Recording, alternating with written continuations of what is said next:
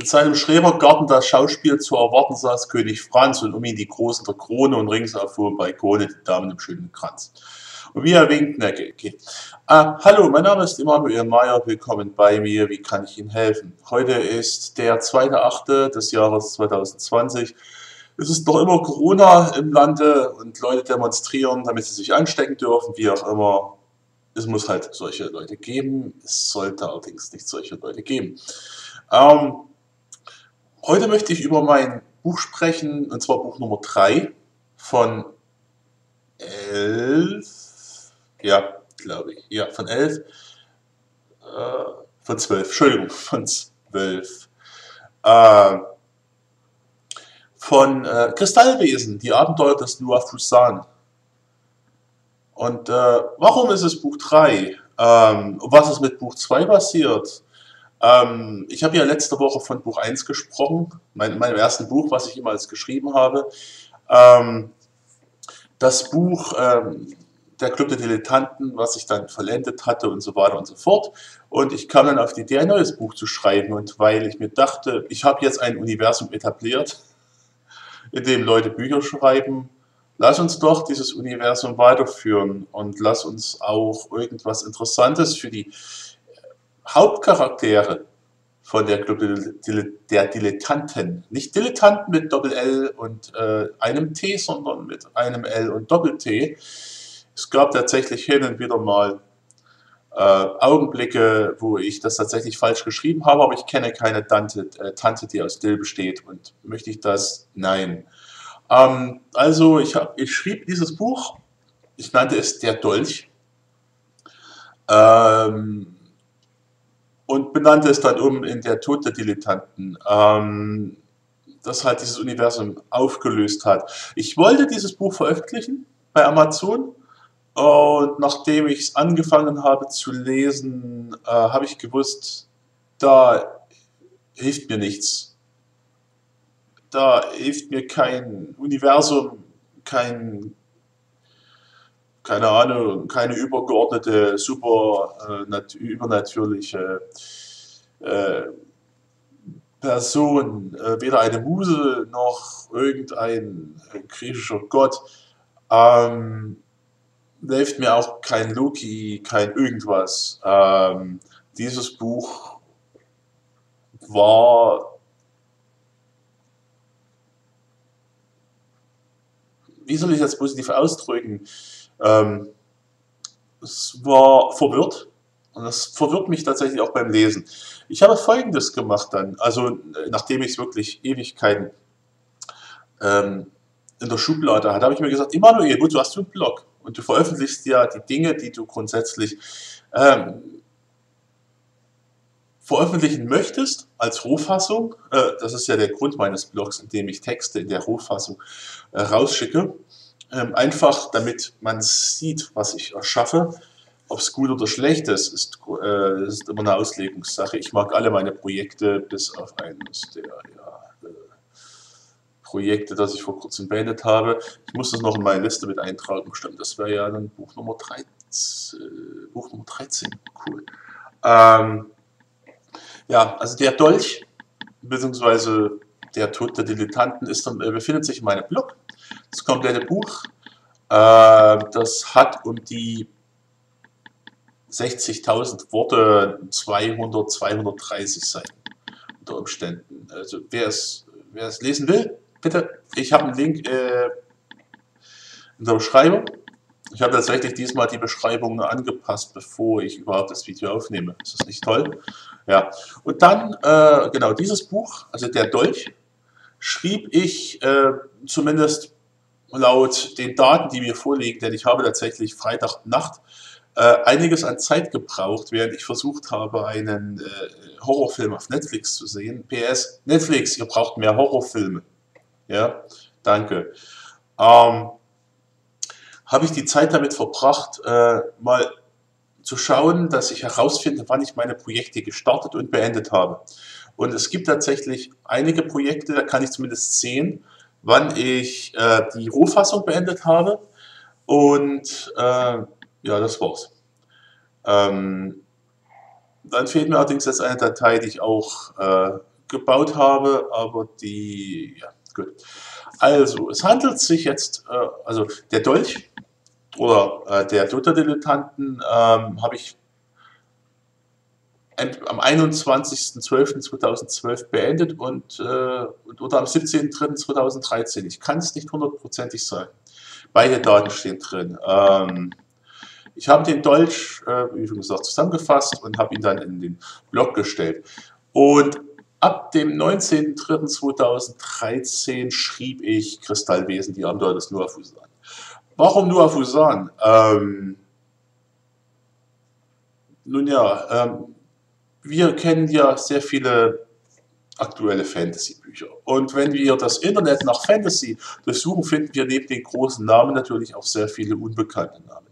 Ähm, diese sehr vielen unbekannten Namen, äh, oder zumindest, ähm, zumindest für mich als Fantasy-Leser, so selten ich Fantasy lese, was ist, äh, Entschuldigung, so, so ich Fantasy lese, ähm, also die unbekannten Namen äh, spielen dann eher in einem Genre, die nicht die erste, äh, vielleicht auch die erste Geige bis zur zwölfhundertsten Geige. Ähm, sie alle schreiben oder sehr oft schreiben sie Young Adult Literatur. Das heißt Literatur, das halt äh, für, zumindest meine Auslegung, das ist nicht die offizielle, vielleicht ist es die offizielle, ich weiß es nicht. Ich schaue nicht auf Wikipedia, sonst werde ich wieder abgelenkt. Ähm, die ähm, also Young Adult Literatur ist grundsätzlich Literatur für, für junge Erwachsene, das heißt für Teenager ab dem Alter 13, 14 bis 23, 24, vielleicht auch bis 29. Natürlich lesen auch sehr viele ältere Erwachsene diese Literatur, äh, weil sie sich ähm, gerne an die entsprechende Literatur aus ihrer Kindheit oder aus ihrer jungen Erwachsenenzeit äh, oder Teenagerzeit äh, zurückerinnern und äh, Young Adult Literatur hat halt ähm, äh, das Konzept, dass eben der junge Held oder die junge Heldin, das ist sehr oft eine Heldin, weil Mädchen und Frauen lesen einfach mehr, kaufen mehr Bücher äh, und lesen halt mehr. Und äh, ich respektiere das. Ich finde es traurig, dass wir Männer oder wir Jungs, wir Jungs, ja, wir Jungs, wir Männer äh, nicht so viel lesen wie Frauen.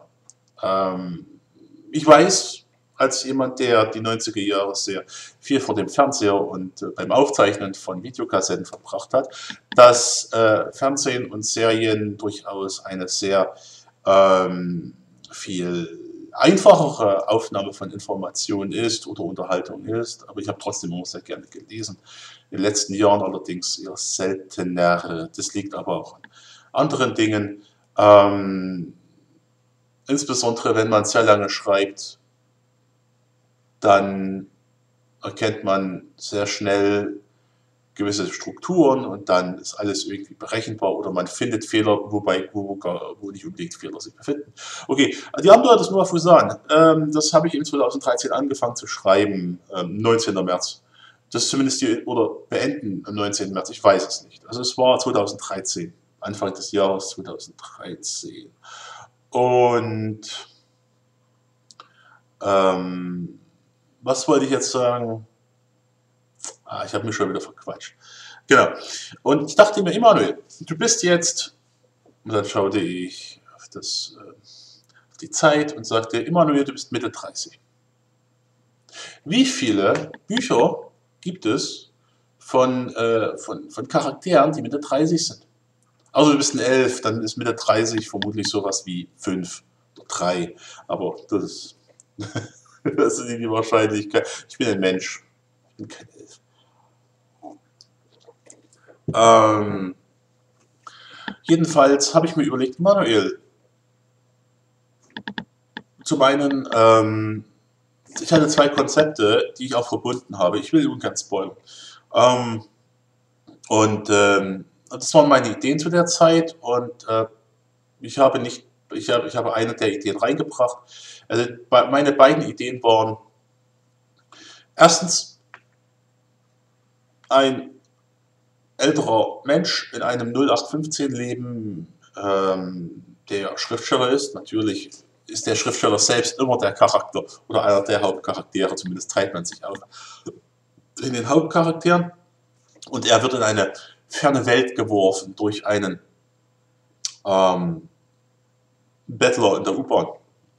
Und äh, das Konzept, das zweite Konzept war, dass äh, der Typ, der Mensch, der in diese ferne Welt geworfen wird, nicht mal der Auserwählte ist. Ich mag dieses Konzept, denn, ich, äh, denn das Konzept des Auserwählten, Auserwählten, der äh, schon sehr, sehr schnell seine Fähigkeiten entwickelt, ist ähm, ähm, langweilig für mich. Ja, ich weiß, andere Leute, ich, ich schaue sehr gerne, äh, also wenn ihr wisst, was ich Filme anschaue, dann, dann wisst ihr, dass ich einfache, effektive Filme sehr schätze, aber bei Büchern bin ich der Meinung, es muss nicht unbedingt alles so unglaublich einfach sein. Der Text oder das Buch an sich hat hier ähm, oder äh, braucht hier für mich meiner Meinung nach die Notwendigkeit, den Geist etwas anzuregen oder, oder sehr anzuregen. Ja. Ähm, deswegen lese ich zum Beispiel gerade, das werde ich auch dann sagen, äh, ein Buch, was ich schon jetzt seit drei Jahren versuche zu lesen. Und jetzt ist das dritte Mal anfange zu lesen. Es liegt nicht daran, dass es, ähm, dass es einfach ist. Ähm, es liegt daran, dass die Schrift im Taschenbuch, und das ist Taschenbuch sehr, äh, die Schrift im Taschenbuch relativ klein ist und das Taschenbuch äh, sehr unhandlich ist, trotzdem es ein Taschenbuch nur ist und kein 6 Kilo Sin City Comicbuch, was ich auch habe, was ich nie in der Öffentlichkeit lesen werde. Das habe ich, glaube ich, irgendwann mal hingelegt gehabt, um zu zeigen, wie intelligent ich bin. Ja, für euch. Ähm, also genau. Ähm, ich habe dieses Buch also geschrieben. Ähm, und ähm, es war halt interessant, weil zum einen äh, konnte ich ja echtes Worldbuilding erstmals machen, also so richtiges Worldbuilding. Und äh, da ich ja grundsätzlich äh, damals noch ein reiner Panzer war, das heißt, ich habe angefangen zu schreiben mit der Idee im Kopf und dann schauen wir nach, wo es hingeht. Ähm, habe, äh, war natürlich auch, also wie soll ich es ausdrücken, ich kannte die Strukturen ja, der Heldenreise und es ist natürlich eine, eine Heldenreise drin in der Sache. Äh, das Übliche halt, man trifft Leute, dann wird es Verrat und dann der Held geht durch die Hölle und so weiter und so fort, ähm, bis man dann gewinnt, aber ähm, passieren dann halt Dinge und äh, genau, am Ende des ersten Buches, also das ist eine Trilogie übrigens, weil ich mir gesagt habe, warum soll ich dieses Buch äh, einzeln äh, rausbringen. Übrigens, das Buch hat um die 130.000 Worte. Ja, in drei Teilen. Der erste Teil war länger, ich glaube 50.000 Worte, der zweite Teil war ähm, 30.000 Worte und der dritte Teil war nochmal 40.000 Worte. Äh, oder so in der Dreh. Ähm, genau. Der zweite Teil war dann der chaotische Teil und nicht nur, äh, nicht nur chaotisch, weil ich nicht wirklich wusste, wo ich hinschreibe, sondern weil das Universum äh, seine Komplexität ausgebaut hat. Der erste Teil eines, einer, einer Trilogie in Filmen oder in Büchern ist natürlich erstmal der, der Teil, wo man äh, das Univers äh, die, die Welt an sich kennenlernt. Ja? Und es war halt eine typische Fantasy-Welt, ganz typisch. Ähm, Im zweiten Teil, ähm, der relativ kurz ist, äh, passieren absonderliche Dinge ähm, und es springt auch zwischen verschiedenen Zeitebenen hin und her ähm, in, dem, in derselben Welt und endet grundsätzlich ähm, ähm, halt mit dem mit einem halben Cliffhanger. Und der dritte Teil, da bin ich sehr stolz darauf, weil der springt wirklich zwischen mehreren, also zwischen, zwischen zwei Realitäten hin und her. Also zwischen der hier und zwischen der dort. Und sowas liebe ich. Äh, ich hatte mal die Idee gehabt, ähm, eines Buches. Sollte jemand das Buch schreiben wollen, bitte, weil Ideen gibt es zu Dutzend. Ähm, wir alle kennen ja, ähm, wie alle. Gut. Ich gehe mal davon aus, jemand, der liest, der auch die Sachen liest, die ich lese und der die Sachen liest, die ich schreibe, vielen Dank im Voraus und nachträglich, Ähm, kennt ihr die, kennt ihr äh, zumindest das Konzept der zerbrochenen Realität oder welche Realität ist jetzt wirklich aus mindestens äh, einer Folge von Star Trek Next Generation, die Riker-Folge im Irrenhaus. Grandios, ich liebe das. Und natürlich auch die Buffy-Folge äh, im Irrenhaus. Und äh, gut, bei mir gab es kein Irrenhaus, aber es gab unsere Realität. Und äh, das ist natürlich jetzt der Zweifel an der Wirklichkeit jeglicher Realität. Ähm, was natürlich trotzdem immer noch mit, mit reinspielt. Ähm, die, äh, die Kräfte, die ich meinem Protagonisten gegeben habe in der fernen Welt, ähm, ist, sind teilweise auch in die reale Welt eingestreut, aber nur ganz, ganz kurzfristig oder ganz, ganz winzig, weil ähm, der, das Konzept der Kristallwesen wird ja im ersten Buch erklärt und äh, die Kristallwesen sind ja auch ähm, Gut, im Buch werden sie als böse dargestellt, äh, zumindest im ersten Buch, beziehungsweise als, als äh, überwältigende Kraft. Ähm, und das führt natürlich auch im ersten Buch, im zweiten Buch, teilweise auch und im dritten Buch ähm, zu einigen gewalttätigen Szenen, weil ich der Meinung bin, äh, wenn Gewalt existiert, dann sollte sie mehr oder weniger realistisch sein. Ähm, ich erinnere mich nur an John Boo-Filme, ja, Heroic Bloodshed-Filme. Ja, also es ist real, obwohl es nicht real ist. Und äh, wie schon Hemingway sagte, Hauptsache du schreibst die, die Wahrheit. Das sehe ich halt in jedem Buch. Das heißt, alles muss passen in jeder Realität. Jede Realität muss sich so anfühlen, als wäre sie die einzige. Ja, ich war dann fertig mit Schreiben. Ähm, ich habe es sehr genossen. Und dann ist mir noch eingefallen, während eines, äh, das war dann, also ich war fertig dann und ich habe dieses Buch sehr lange im, ähm, ähm, in der Schublade gehabt. Nicht, weil ich dachte, es ist, sondern weil ich äh, derzeit sehr äh, kreativ kreativ war. Das heißt, ich habe geschrieben, ich habe immer geschrieben. Ich habe einfach Rohtexte fabriziert. Ja, und äh, nach den langen Wochen und Urlauben mit der Club der Dilettanten habe ich mir gesagt, äh, ja, ich schreibe jetzt erstmal über Rohtexte und dann editiere ich sie. Und äh, es hat tatsächlich knapp drei Jahre gedauert, bis ich es hinbekommen habe, Kristallwesen ähm, zu äh, veröffentlichen. Äh, das Cover, was auf dem Eingangsfoto, was sich auf dem Eingangsfoto äh, befindet, ist das alte Cover. Ich habe es äh, letztes Jahr ausgetauscht. Ist, ähm, bei Covern habe ich keine Ahnung und äh, ich weiß, meinen nächsten Cover werde ich natürlich professionell erstellen lassen. Ähm, trotzdem mochte ich mein Cover gerne. Ja. Ähm, genau. Also es war, ich überlege, wann das gewesen war. Ähm, ich hatte es mal kurz veröffentlicht gehabt und dann gab es, ich weiß nicht, ob es 2016 gewesen ist, äh, gab es einmal eine Samstagnacht äh, oder Samstagabend, in dem ich mich gelangweilt habe. Ähm, und dann bin ich eine große Runde durch Berlin gelatscht. Und dann ist mir plötzlich ein alternatives Ende eingefallen. Also nicht das alternative Ende, also ich habe nicht alles geändert. Ja. Ich habe nur das Konzept des, des äh, dritten Teils, nee, wie soll ich es ausdrücken? Ich habe einfach den, den Antagonisten angepasst. Und ich muss sagen, dieser neue Antagonist, äh, dieser neue Gegenspieler, äh, ist mir hervorragend gelungen. Ähm, weil er im Gegensatz zum Original-Antagonisten, bei dem es sich um einen Nachbarn handelt, ähm, um einen echten Irren handelt.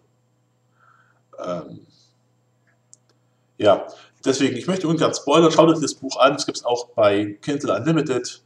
Ähm, ihr werdet viel Freude damit haben, wenn ihr das, das Genre mögt. Also es ist, das ist High Fantasy. Früher dachte ich immer Low Fantasy, aber dann habe ich doch die, äh, es gibt so viele Definitionen. Ja, die einen sagen, äh, High Fantasy ist, wenn du ein Universum erschaffst mit eigenen Sprachen und so weiter und Low Fantasy, also Low Fantasy, nee, High Fantasy ist ähm, sowas wie Game of Thrones, ja, also eine hoch ähm, äh, eine hochkomplexe Gemeinschaft oder eine hochkomplexes eine, eine hochkomplexe Welt und Low Fantasy ist ähm, sowas wie Conan der Barbar, ja, was ich eh, eh sehr gern lese. Ja. Äh, High Fantasy ist wirklich auch Discworld dann. Ja. Low Fantasy, wie schon gesagt, ist äh, Kane oder Conan. Kane müsst ihr übrigens auch lesen. Kane ist geil. Von, von Carl Edward Wagner. Hammer. Hammer. Ähm, gut, das, äh, das andere, die andere Erklärung, die andere Erläuterung heißt, ähm, High Fantasy ist, wenn du eine Welt erschaffst, die nicht der unseren entspricht, also die eine echte eigene Welt ist. Ja. Und Low Fantasy ist einfach unsere Realität, in die ähm, die, die Magie oder die Fantasy einträgt, sowas wie Urban Fantasy. Ja. Ähm, wo dann plötzlich, was ja auch sehr beliebt ist im Young Adult-Kreis, wo dann plötzlich normale Leute äh, Fähigkeiten besitzen äh, oder bekommen, wie Superhelden halt. Ja. Äh, ich weiß es jetzt nicht, ich habe mich damit, ich habe mich jetzt bereit erklärt, äh, das Konzept High und Low Fantasy auf das zweitgenannte Konzept laut Wikipedia anzubringen. Das heißt, es ist eine eigene Welt äh, mit eigenen Regeln, Magie. Übrigens eine wichtige Sache für euch, die ihr Fantasy schreibt. Das habe ich mal vor Jahren gefunden, ähm, das im, im Netz.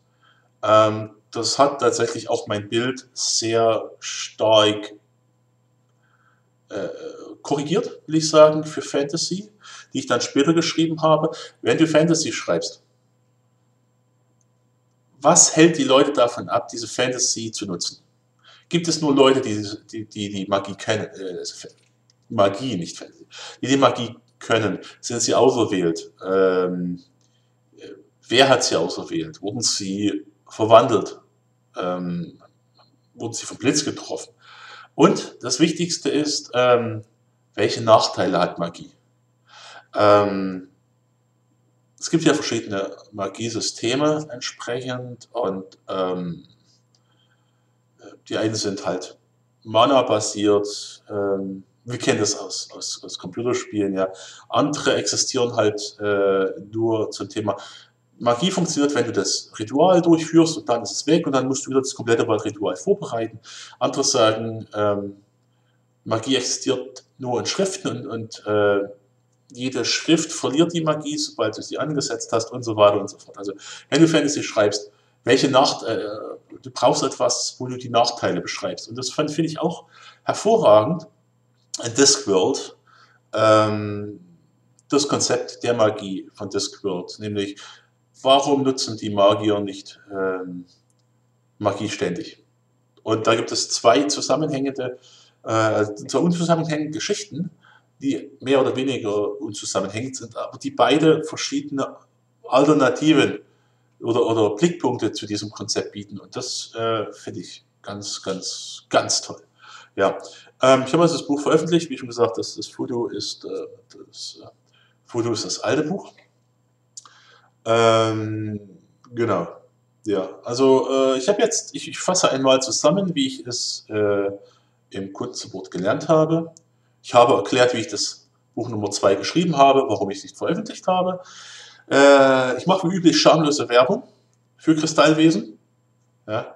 Ähm, das ist auch, auch, auch so eine Sache. Ähm, wie macht man Werbung, ohne dass man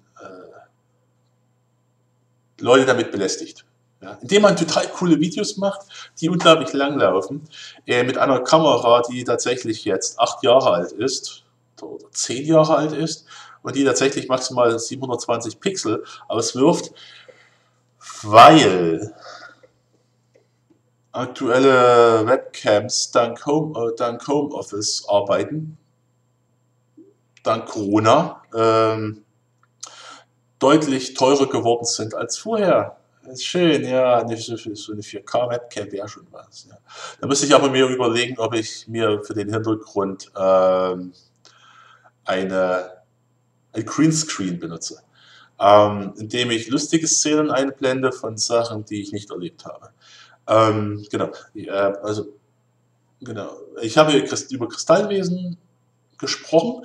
Äh, das, das, Interessante an der Sache ist, ich habe ja diese Welt erschaffen, Kinsul.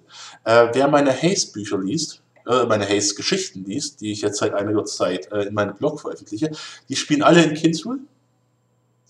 Und zwar in der Zeit zwischen Buch 1 und Buch 3 von Kristallwesen. Und das ist das Schöne, weil ich habe eine, ich habe eine Welt erschaffen. Und das ist schön, wie gesagt, bei Fantasy ist es toll oder halt bei Science Fiction. Wenn man eine Welt erschafft, hat man sich jegliche Erlaubnis erteilt, diese Welt zu benutzen. Und ich mag das Konzept von Kinsul. Ich habe auch, ähm, bevor ich angefangen habe, äh, die Haze-Geschichten zu schreiben, habe ich ja auch ein großes Trilogieprojekt angefangen gehabt, äh, wo ich den ersten Teil vollendet habe. Ähm, ich frage mich gerade wann, es muss Januar gewesen sein. Ähm, und seitdem habe ich dann noch ein anderes Projekt geschrieben. Das, da, da muss ich irgendwann mit mir selbst laut darüber reden, ob dieses Projekt toll ist, was ein komplett anderes Thema ist. Ich habe über den Inhalt von Kristallwesen mehr oder weniger Andeutungen gemacht. Ich habe über eine Inspiration gesprochen, ich habe über die Änderung des dritten Buchs gesprochen. Ähm, genau, jetzt kommt noch mal kurz, was ich derzeit schreibe. Also ich schreibe grundsätzlich am Wochenende meine Haze-Novellen weiter. Ich bin immer noch bei Hayes, der Pfad der Tuten. Normalerweise hätte ich das gestern auch gemacht, allerdings habe ich mir gedacht, Emanuel, dein aktuelles Fantasy-Projekt, äh, was du jetzt gerade schreibst, vielleicht braucht es doch eine gewisse Kurzgeschichte, äh, eine gewisse Zusammenfassung der Welt, ähm, warum sie existiert und warum die Kreaturen, die, darauf, äh, die darin existieren. Weil es ist in diesem Buch handelt es sich dabei wirklich um klassische Fantasy und klassische Heldenreise mit ein paar Twists. Ja, äh, ähm, genau. Ähm, also ich schreibe derzeit mein Hauptprojekt. Mein, äh, derzeit brauche ich tatsächlich fast eine Stunde, um meine 1000 Worte täglich hinzukommen. Es liegt aber vermutlich daran, dass ich es früh schreibe. Gut, abends wäre schlimmer. Äh, was lese ich derzeit? Äh, ich habe vor kurzem ähm, ähm, ein hervorragendes Buch gelesen, Dark Matter, Uh, a, conspiracy, uh, a Century of Speculative Fiction from the African Diaspora. Ein ganz hervorragendes Buch, was mich sehr zu denken gebracht hat. Ähm, kann ich jedem empfehlen, der gerne liest und der Fantasy und Science Fiction liest und der mehr lesen will von afrozentrischen Themen. Denn wir alle wissen, die meisten Bücher äh, im Fantasy- und Science-Fiction-Bereich beziehen sich nun mal, sind nun mal eurozentrisch. Ja, ähm, und ja. Ähm, man lernt sehr viel mehr, wenn man die Chancen hat, die, die Welt äh, zu sehen und zu lesen. Ja, die Gedankengänge und äh, es ist grandios. Was ich derzeit lese, also ist jetzt mein dritter Versuch, Eisenhorn von Ebnet zu lesen. Das ist eine Warhammer 40k Trilogie über den Inquisitor Gregor Eisenhorn. Ich habe dieses Buch seit 2017 als Taschenbuchausgabe. Es ist ein dickes Buch. Äh, es ist ein Buch mit kleiner Schrift. Ähm, ich lese grundsätzlich deutlich lieber ähm, E-Books, da kann ich die Schriftgröße ändern. Ähm, und ich habe diese Woche tatsächlich das Glück gehabt, rein zufällig, also durch einen Bekannten im Netz, äh, der mich indirekt äh, darauf nicht aufmerksam gemacht hat, aber der mich inspiriert hat, nochmal auf die Webseite zu schauen. Und es gab letzte Woche ein tolles Angebot für die Eisenhorn-Trilogie als E-Book. Und ich habe mir sofort gekauft und äh, es ist einfach so toll. Ich kann das sehr empfehlen. Die Welt ist sehr komplex, seit Warhammer 40k. Ähm, und äh, eigentlich müsste ich mal anfangen, einen Podcast zu hören über Warhammer 40k, weil alle Bücher zu lesen wäre es selber, als würde müsste ich mein Leben aufteilen. Alle Bücher von Discworld lesen und alle Bücher von Eisenhorn zu lesen und ich müsste mehr lesen. Ähm, das ist auch äh, der Grund, warum ich äh, Nee, ich hatte, ich hatte eine Idee Freitagnacht gehabt. Ich könnte ja anfangen, ich könnte ja ein Facebook, äh, ein YouTube-Rant-Video machen, warum wir viel zu wenig lesen. Und ich bin äh, grundsätzlich sehr dabei. Ich habe ich hab als Kind und Jugendlicher und junger Erwachsener gelesen wie, wie, wie ein Süchtiger. Und äh, warum auch nicht? Ähm, und jetzt lese ich deutlich weniger. Ja, dafür schreibe ich. Ja, ich müsste trotzdem mehr lesen. Ja, ähm, gut. Ähm, also ich schreibe ein großes Fantasy-Projekt und ich lese jetzt derzeit Eisner. Ähm, und auf meiner Buch-Wishlist stehen auch noch ein Dutzend andere Bücher, die ich auch noch lesen will. Und ich habe mir eine Pile of Shame gestapelt. Alle meiner Bücher, die ich hier als äh, Hard-Format habe, die ich noch nicht durchgelesen habe. Und äh, eigentlich wollte ich die auch mal lesen. Äh, denn ich bin kein Freund von Bücher sammeln und die stehen dann im Regal und man liest es nicht.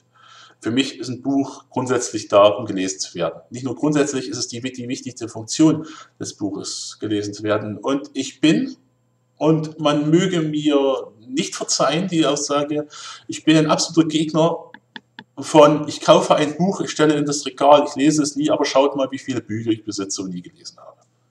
Ja. Äh, wenn ihr wüsstet, wie stark ich mein, äh, wie, lang, wie stark ich mein normales Bücherregal äh, minimiert habe, ich habe vor zwei Jahren, ne, letztes Jahr war es, oder vor zwei Jahren, habe ich mehrere hundert Bücher gespendet, weil ich hatte keinen Platz. Und ich hab, hatte nicht vor, diese Bücher jemals noch einmal zu lesen. Ähm, von daher, aber das ist jetzt meine Meinung und das ist keine allgemeingültige Meinung, wenn ihr drauf steht, Bücher im Regal zu haben. Okay, wenn ihr die Bücher nur habt, um sie zu präsentieren.